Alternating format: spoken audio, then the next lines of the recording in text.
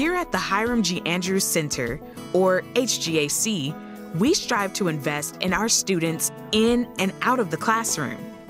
Every student is assigned a vocational rehabilitation counselor during their stay with us. The counselor is responsible for managing all aspects of a student's program and can help them find services and supports they need to reach their goals. With all the stuff that the, the staff taught me and how I progressed through each of my classes, it helped me increase my knowledge on the subject I like, which was the computers and technology. At HGAC, we invite our students to live and learn by providing on campus housing in our dormitories.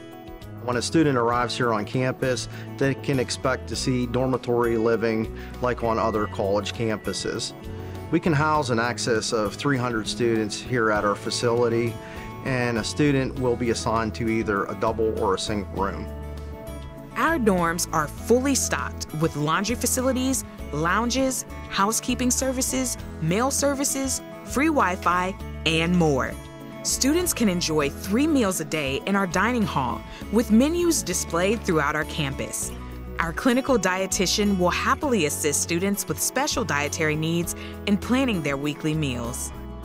Our security department ensures the safety of our students with 24 hour security coverage via keycard entrances, blue light call boxes, surveillance systems, and routine patrols. Students are welcome to bring a car on campus if they choose. In addition, our students can access public transportation through CamTran, our local transit authority. Travel training is offered to all students at HGAC. HGAC cares about our students' well being, and that is why we supply an extensive wellness center open daily.